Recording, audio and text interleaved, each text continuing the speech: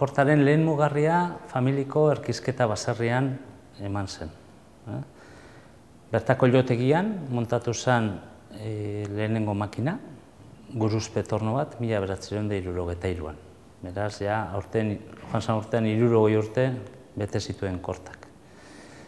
Lau urte beran dago, mila beratzen da irurogeta zazpian, basarritik narrondoko pabelioira mugitu zen.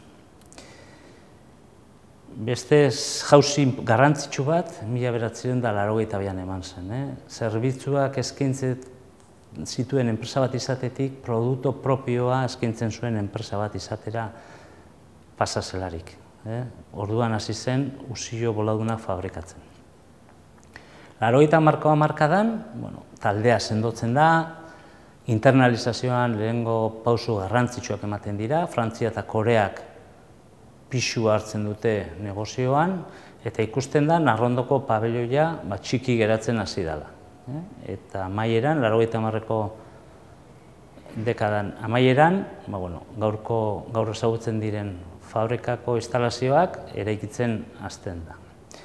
Mila beratzen da laro eta emeretzian, ematen da trasladoa, narrondoko pabioitik, gaur egun hemen gauden instalazioetara. Beste jauzi garrantzitsu bat kortan historian izan zen 2000 eta beratzean. Eh, hausnarketa bat egin ondoren, erabakitzen da aeronautikako sektorean astea lanean.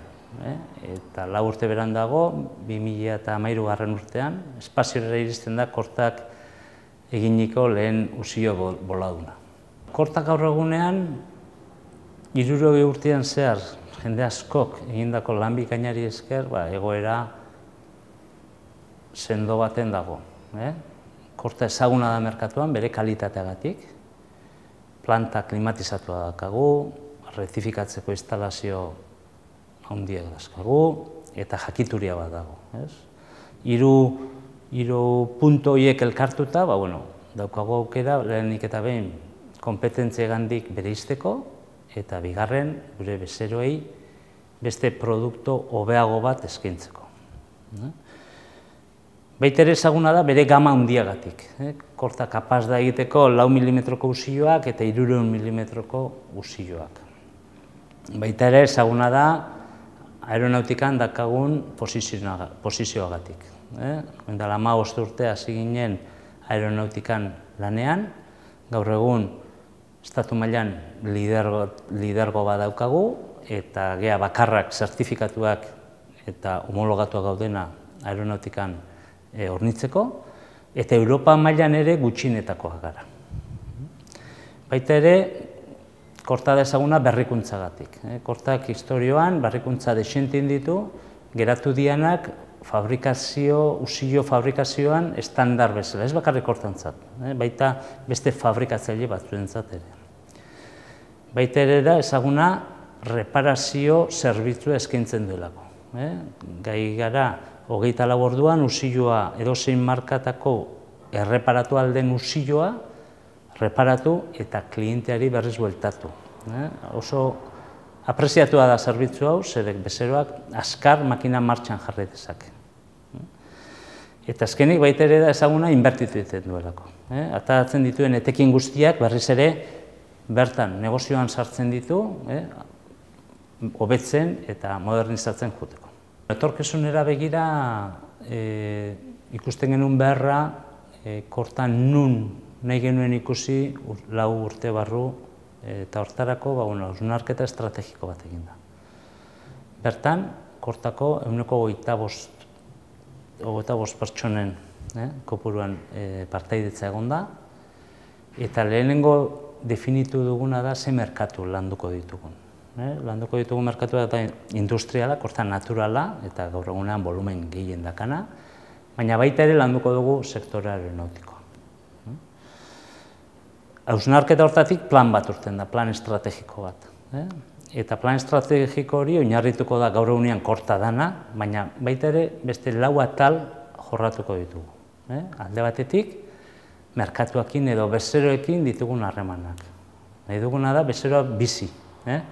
Hasieratik amaierara arte bezeroakin egon, bai definitzen nahi montatzen nahi danean, erabakia hartzea dihoanean, arazoa daudenean han dugu egon, eh, bezeroari laguntzeko.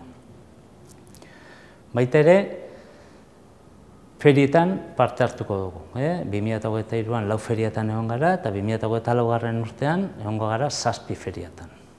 Eta azkenik, ba, bueno, ba, gaur eguneko hain modan dagoen sare sozialetan ere parte hartuko dugu. Landuko dugun bigarren atala izango da kalitatea. Eh? Gure erronka da, gure usioekin, gure bezeroen makinak hobeagoak izatea. Eta hortarako, egingo duguna da, alde batetik, barne prozesuak sendotu, produzitzeko makina berriak berrietan inbertitu, produzioa hobea izan dadin, eta baita ere neurtzeko makinetan inbertituko dugu. Landuko dugun hirugarren atala izango da zerbitzua. Eh? E, reparazio zerbitzu hori sendotu egingo dugu, baita ere 4.0 zerbitzua eskaintzeko plan badaukagu, Eta azkenik, eh, gure erronka jarri geha, ba, hogeta lau eta sortze orduan, usio berri bat eskintzeko aukera izatea, eh, beti eta estandarra izaten danean. Eta azkenik, landuko dugun beste zeila da berrikuntza. Eh? Nahi duguna da, e, berrikuntza daukagun produktua, sensorra, esaten digu une oro zelan dagoen produktu eta horrekin, ba, nahi dugu beste zerbitzu mota batzuk eskaini, merkatuari. Hmm? Horrekin, ze, ze helburu jarri ditugu, ba, bueno, helburu, asmo handiko helburua dira, eh? urrengo lau urtetan, eguneko berrogeita marreko fakturazio askundea jarri dugu helburutzat. Eta hau nola egiten da? Ba, bueno, belengo pertsonekin. Eh? Pertsona gea danan klabea, eta gehitu ingo dugu plantia, eguneko amagusta, eta ba, bueno, ba, pertsonen elkarlana ere oso garrantzitsu izango da, beraz, bigarren punto bezala talde lana izango da. Bai internuki, eh, lehen esan dugun pertsona guzti horiek eh, bezeroan beharrak betetzera zuzenduko ditugu, baina baita ere nahi dugu talde lan egin bezeroekin, eh, internu eta esternuki, bietan. Vale? Hirugarren zati bezala egingo dugu laiotan aldaketa. Nahi dugu lin filosofia implantatu, e, baliorik erainzten ez duten operazioak kenduko ditugu, eta hartara produktibitatea gitu. Eta layout aldaketa ongo da, inbertsio plan batekin, eh, ba, oinarrituta edo, edo babestuta. Eh? E, urtero, eguneko amarra inbertitzeko apostua egin dugu. Ez nuke, entrevista amaitu hau, ez nuke entrevista hau amaitu, nahi, kortak ingurumenarekin hartu den konpromesua azaldu gabe. Alde batetik, ja, aurroko urtean berreun da eta mar mila euro inbertitu ditugu, lehenengo ba, autogenerazioan eta gero ekipo energetikoki efizienteagoa diren ekipotan, ondakinak aia kudeatzen, baina nahi duguna da baita ere, generatzen ditugun ondakin danak kudeatzea.